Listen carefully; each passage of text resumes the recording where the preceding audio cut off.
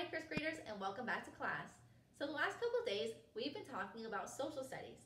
Today, I need you guys to turn on your science brains because we are going to go back over the food chain. Now today, you are going to make a food chain about a giraffe. But before we get into that, I want to do a really quick review about what is the food chain and go over our last example.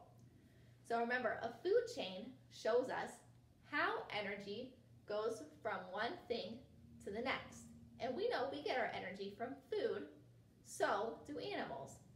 Now animals get their energy from whatever they eat.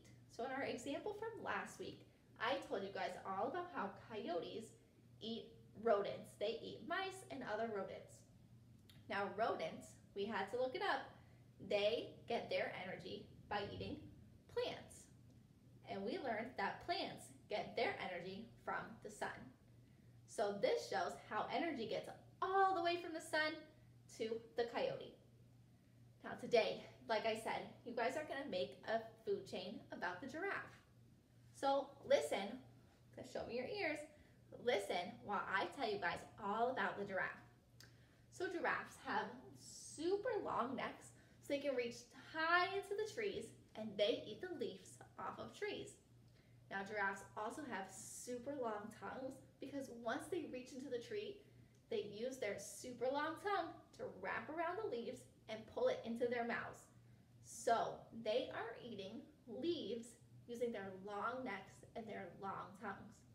But you guys, giraffes are so big. They are very large animals. So they have to eat leaves almost all day long in order to get enough energy to survive. Isn't that interesting? Because as people, we don't eat all day long. We usually eat a couple meals a day, and that's enough to give us our energy. But giraffes, they need a lot of energy, so they eat all day. So what I want you guys to do is get out a piece of paper and something to write with. Now for your food chain of the giraffe, I want you to start at the end of the food chain, just like we did last week. So draw your giraffe at the end of the food chain. Then you'll see I left two spaces. In those spaces, you'll need to fill out where do giraffes' energy come from? So I just told you, what do giraffes eat? Think about it. And in the space before the giraffe, I want you to draw a picture and label, what do giraffes eat? Now you guys, we need to use our thinking scientist brains. Hmm, did we put an animal here? Do giraffes eat an animal? No, I don't think so. I think they eat something that is a plant. Hmm, so hopefully you guys drew something that is a plant here.